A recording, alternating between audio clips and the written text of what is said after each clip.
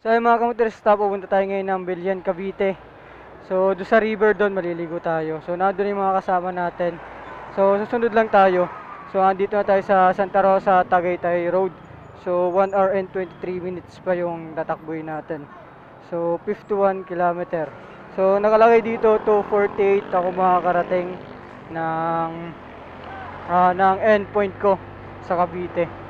248. So I hope di natin abutin mga kahit mga 230. So mabit natin. So pa nandito tayo Santa Rosa Road ngayon papuntang Tagaytay. So dito ang daan, dito tayo tinuro ni ah, ni Map. So yung mga kasama natin kayo na pang umaga nag-up 5 AM. So habol lang tayo. So ang init kasi ng panahon, masarap maligo especially sa river. So kaya let's swim, let's swim. So ayan, kita-kits mamaya pag nandun na lang tayo. Papakita ko sa inyo yung view ka, kung gaano kaganda. Ayun, mga kamotorista, 17 kilometers away na lang tayo. 28 minutes. So nandun na tayo sa Bailen, Cavite sa Tala Resort. So rat-rat lang tayo ng rat-rat kasi solo ride tayo ngayon.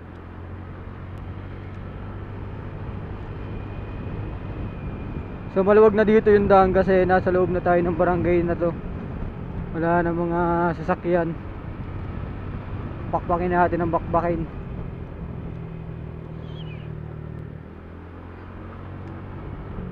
Kilometers. Before 3 p.m. nandun na tayo sa ah, location. Mapasin niyo mga kamotorista, gubat na yung paligid ko. Yung binabaybay nating daan.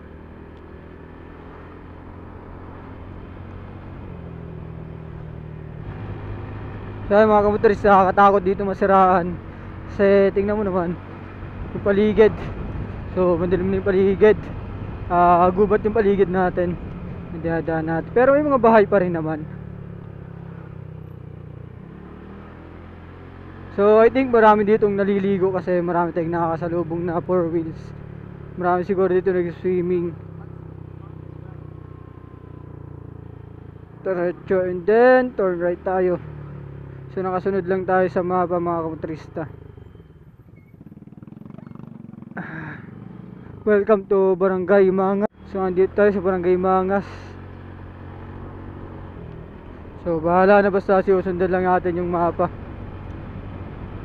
Makakarating din tayo. So first time ko makaraan dito, makadaan dito. First time ko makadaan dito sa way na to. So hindi ko alam, talaga nakasunod lang tayo sa mapa.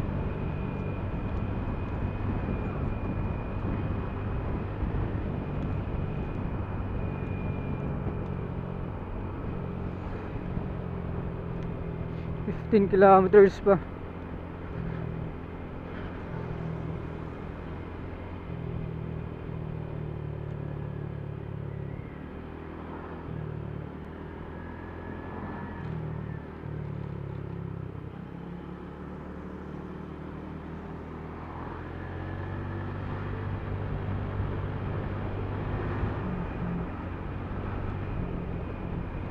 Dikit tayo.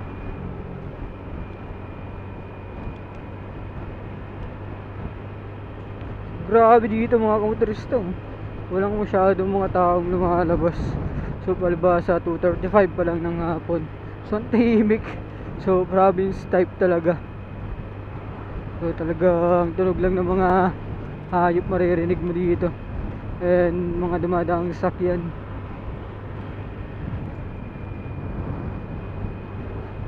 So based sa mapa, dire-diretso na lang to.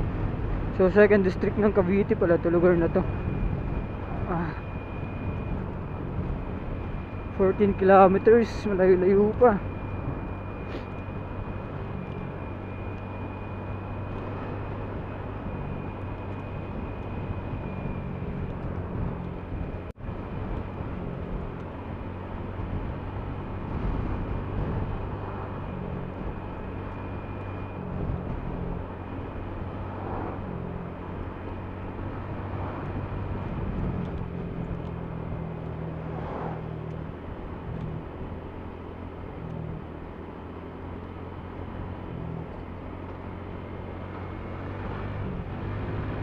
Pakpakin na natin no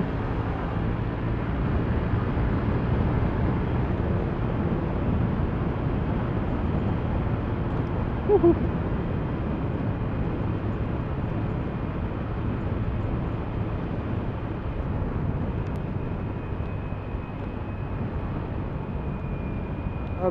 Dito.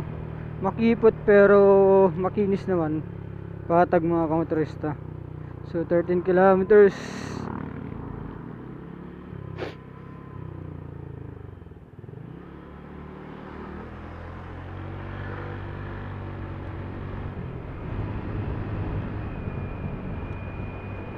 Grabe. So, ang sarap sa feelings. So, nakakadaan tayo sa mga kalsadang ngayon lang natin nadadaanan. And mag-isa pa tayo, solo ride. Partida. So, 53 kilometers tinira natin. So, solo ride tayo. And di natin alam yung location. Sunod lang tayo kay mapa. So, sana di niya ako. So, 12 kilometers pa, 21 minutes.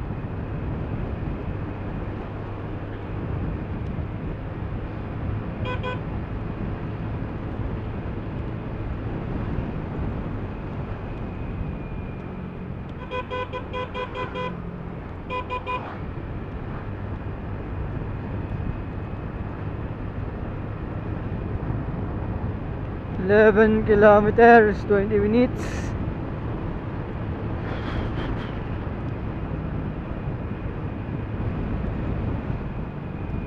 So, andito na tayo Barangay Dos, Alfonso, Cavite. So, ito yung poblasyon. So, ito, nakapasok na tayo dito. So, ito pala yung Alfonso, Cavite.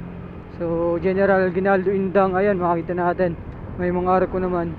And sa dulo, mag-turn right tayo sa Marahan, Alfonso Road. Ay, sa mapa natin mga kamotrista.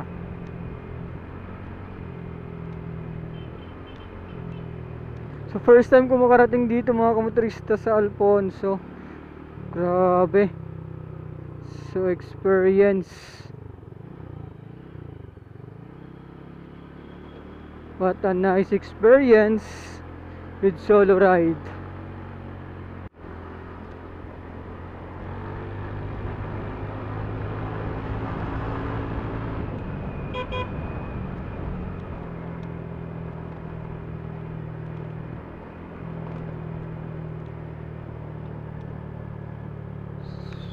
Grabe mga kamotorista.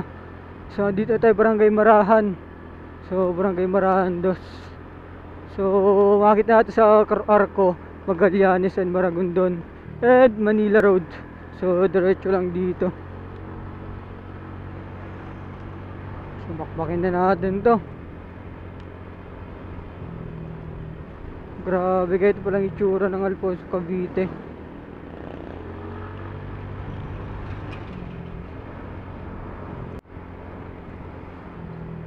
Ayun yung simbahan mga kamotorista sa dulo. So tanaw ko na yung simbahan. 9.4 kilometer. Grabe laki ng Cavite talaga. So I think ito yung sentro nila. So magto-turn right tayo dito. Pag diniretso Tagaytay, pag General Aguinaldo. So, ikot-ikot lang pala to mga kamotorista.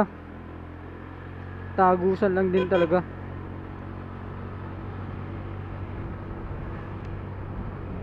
Eight point eight kilometers.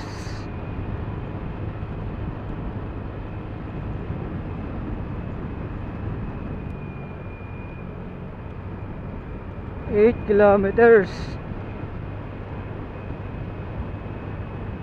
Grabe, di nauubos tong kilometro ang tinatakbo natin ah.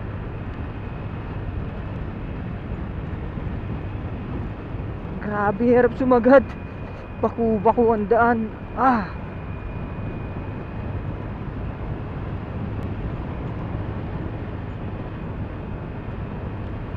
Woohoo. Hirap sumagad dito ng rat-rat ah. Maluwag pero baku-bako. Baka may madali tayong malalim. Ah, shit eh. Ito pa. Ah, shit, pucha. Shit, eh, shit eh. Ocho, baby, dis, putang ina. Bako, bako.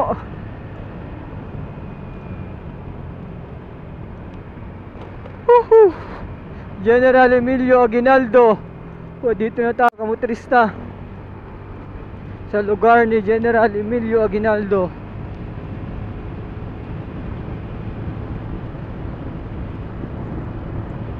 Six point nine kilometers.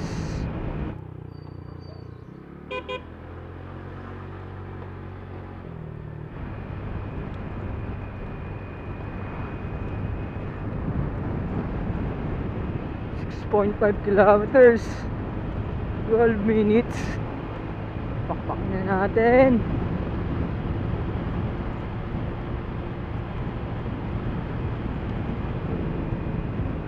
Eleven minutes. 5.6. Lapit na sa katotohanan. Biray na natin. Before 3 p.m. 15 minutes before 3 p.m. Ang oras ngayon mga kontrista. Before 3, andun na tayo.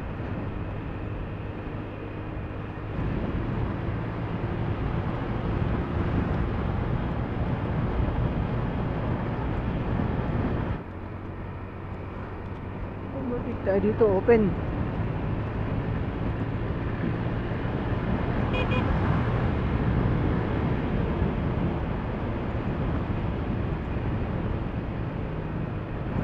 Four point two kilometers.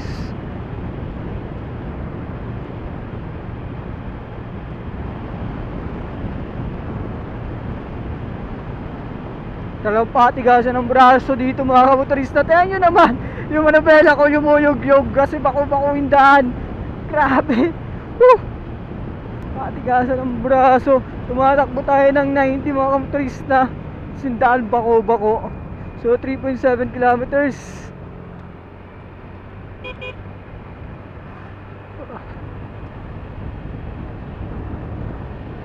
Three point five kilometers.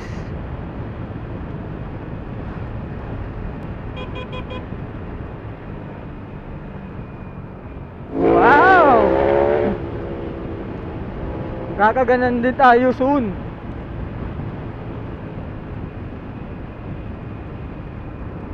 Three kilometers.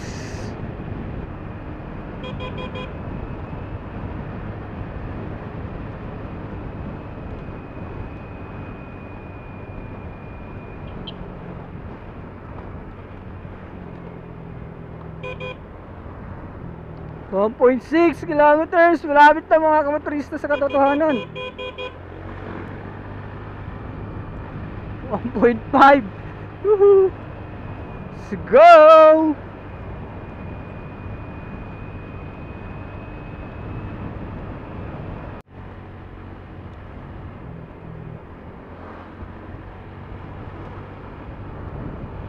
One point one kilometers, four minutes.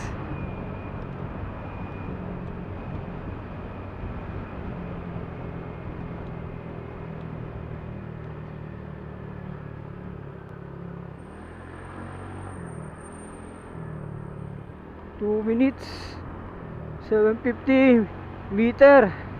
So 700 meter na lang. Two minutes. So nagre-red na. Straight line lang natin. Shit.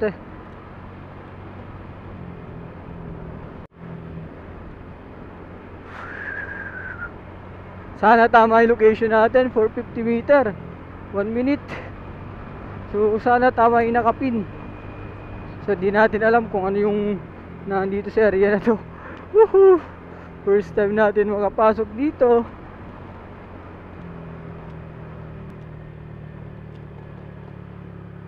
Barangay Tabura. Ito na siya. Ito na nakapin na. 160 meter na lang. So guys, dito, sa loob na tayo ng barangay. 60 meter. Ah, ito na, marami nang naliligo. Okay, nakapin na. Woohoo! Saan dito yun? Baka dun. Tala River Park.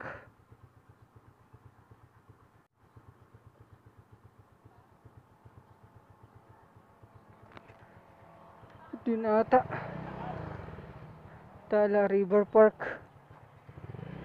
Maraming tao dun eh. Ah, po, shit. Tarong tayo. Tala River Park. Wala. Para pwede magtanong, saan yung Tala River Park? Saan ang daan? Ah, yung parking yan? Tapos saan ang daan yan dito? Ah, lalakarin ko pa, pababa. Ah, sige. Thank you po. Ah, ito yung parking. Ah, ayun yung mga motor nila. Hala. Opya, ito yung parking lot. Yo, asa kayo mga motor nila? Mga motor nung Oo, kayo na pa silang umaga eh. Ay, baka nga, kung wala dito, nasa baba. Meron din sa baba eh. Meron ba ng parking? Meron din parking doon. Kaya na lang, para. Kaya medyo palusong na, kaya medyo. Malalim doon. Ah, marami na pag Dito na lang ako. Lalakarin ko na lang pababa. Sige, sige.